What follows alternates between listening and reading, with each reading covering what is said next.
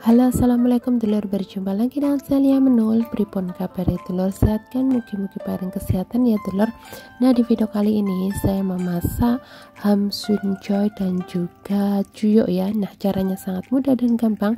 Nah ini tadi saya sudah beli ini cuyuknya saya beli yang bagian muidau ya dulur ya.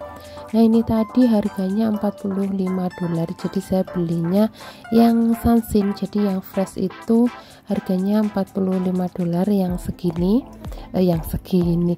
Maksudnya segini itu harganya 45 dolar ya telur ya. Ya sesuai yang makan ada berapa berapa orang gitu ya telur ya. Masalah banyak sedikitnya. Nah setelah itu ini dipotong saya motongnya memanjang seperti ini Nah kalau beli bisa ngomong ke penjualnya bagian yang muidau gitu ya. Kalau muidau itu yang empuk dulur Kalau dimasak itu empuk gitu loh. Jadi kalau buat orang tua Walaupun orang dewasa anak kecil itu juga bisa dibelikan yang bagian ini ya dulur ya.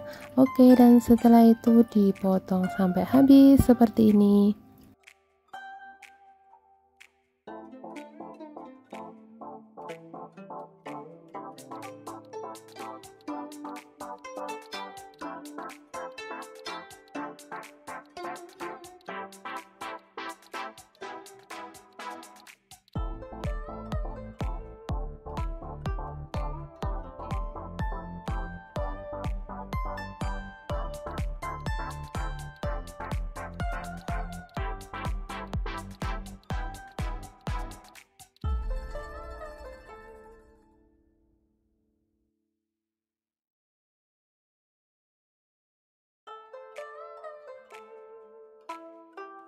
Oh, Oke dan setelah itu saya beli ini ham sunconya saya beli yang bungkusan seperti ini ya dulur ya. Semisal nggak ada bungkusan yang langsung ditimbang itu juga bisa. Nah ini itu saya siapkan air ya buat ngerendam. Jadi ini itu yang asin. Jadi ada yang asin ada yang manis. Jadi saya belinya ini yang asin. Kalau yang asin itu harus direndam dulu ya dulur. Jadi ngerendamnya itu agak lama. Saya ngerendamnya itu satu jam setengah. Itu supaya nggak terlalu asin ya dulur. Soalnya ini asin banget. Ini yang namanya ham sunjoy kalau yang uh, manis itu namanya dim sunjoy kalau dim sunjoy itu nggak usah direndam terlalu lama. Oke dan ini saya potong seperti ini. Ini tadi harganya 3 dolar. Kalau yang asin itu lebih murah daripada yang uh, manis ya dulur. Kalau manis itu mahal mahal banget kalau yang manis itu. Kalau yang uh, pokoknya sing asin iki murah gitu loh ya dulur oke ini saya rendam dulu selama satu jam setengah dulu. Dan ini sudah saya siapkan. Ini dagingnya tadi yang sudah saya potong diiris lalu dibumbuin pakai ini gula.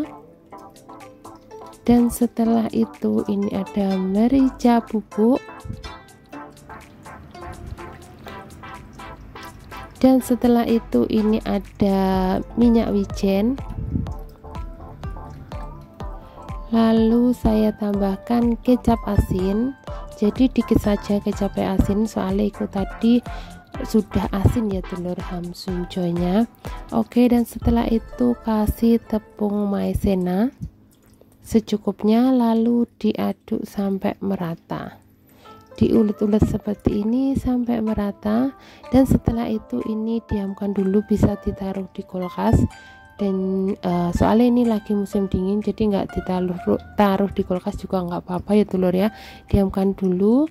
Oke dan setelah itu ini saya sudah siapkan bawang putih. Ini saya mau cincang jadi saya pakai ini. Itu lebih enak dulu caranya cepet banget cara nyincangnya. Jadi tinggal ditarik-tarik gini aja sudah jadi cincangan ya telur ya cincangan bawang putih. Nah segini tergantung sesuai selera. Jadi bosku seneng banget banyak bawang putih. Ini bawang putih itu satu bungkul lono kalau telur oke dan setelah itu ini saya siapkan saya pakai bumbunya. Ini namanya tau pancong jadi kalau misalnya majikannya sampai suka pakai uh, agak sedikit uh, pedes bisa pakai ini. Kalau misalnya nggak suka pedes ya rasa dikasih ini ya telur ya nah ini saya pakai satu sendok teh dikit segini saja. Oke dan setelah itu saya mau ambil dulu ini saus tiram. Nah ini saya pakai saus tiram secukupnya nggak usah terlalu banyak dikit aja. Soalnya tadi cuyoknya sudah diyip yo. Nah segini. Oke dan setelah itu ini saya mau ambil dulu gula oke dan lalu tambahkan sedikit.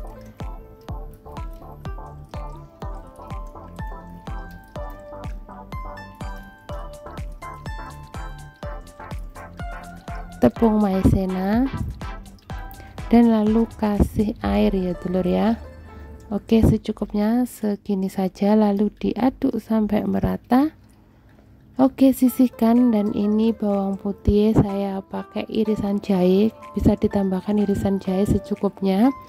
Dan setelah itu ini daging cuyuknya yang sudah dibumbuin tadi siap untuk memasak.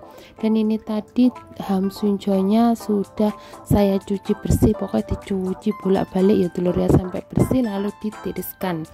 Oke dan setelah itu siap memasak. Panaskan minyak. Ditumis dulu bawang putih seperti biasa. Ya minyaknya secukupnya ya telur ya. Oke dan setelah itu ditumis-tumis dulu sampai keluar aroma harumnya bawang putih lalu masukkan dagingnya. Dagingnya dulu ditumis. Nah ini nanti dagingnya itu dimasak sampai uh, setengah matang dulu ya baru nanti dimasukkan ham sunjonya. Oke ini ditumis-tumis seperti ini dimasak dulu sampai setengah matang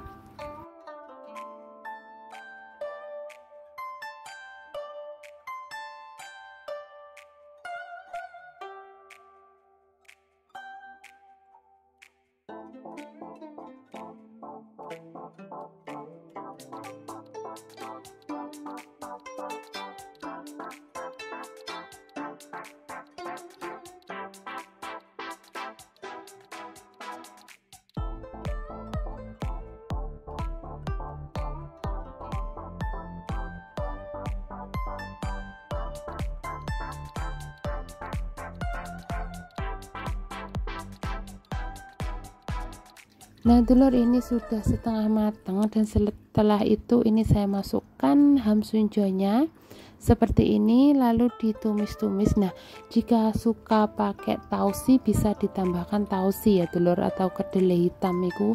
Tausi kedelai hitam bisa ditambahkan kalau semisal suka. Soalnya anak majikanku yang cowok yang satunya itu nggak makan tausi ya telur ya. Jadi nggak tak kasih ya pokoknya sesuai selera majikan ya lor ya. Oke nah ini bisa dilihat kalau sudah gini berarti empuk ya wis. Maksudnya iki wis mateng.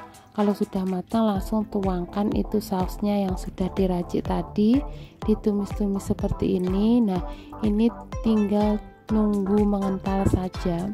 Jadi saya mau kan ada ada apa jenis larutan tepung maizenane ya telur ya. Jadi terus ditumis-tumis dimasak. Nah ini tuh sudah matang telur jadi jangan terlalu lama lek numis. Kalau terlalu lama itu nanti dagingnya menjadi keras. Jadi ini sudah matang sudah matikan kompor siap dihidangkan. Nah sesuai selera jadi ditaruh di mangkok atau di piring ya telur ya. Oke selamat mencoba. Semoga majikan sama suka seperti majikanku.